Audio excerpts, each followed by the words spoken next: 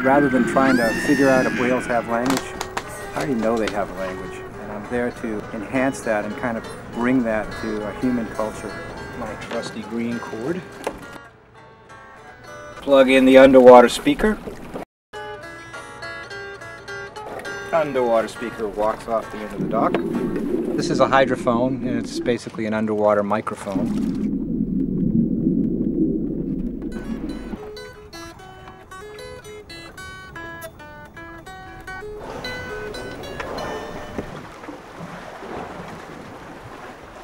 So now they're on to us. You can hear the echolocating very focused on the boat. Uh, an orca's signature whistle is kind of like a little guitar riff, a little hook.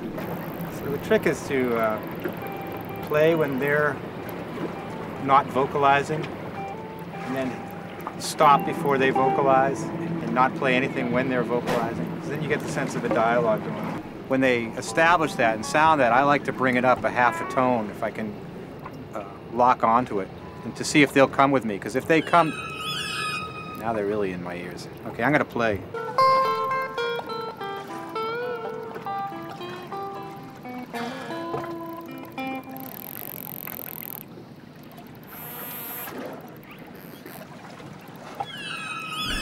Music is a language. I'm not trying to solve mystery. I'm there to celebrate it.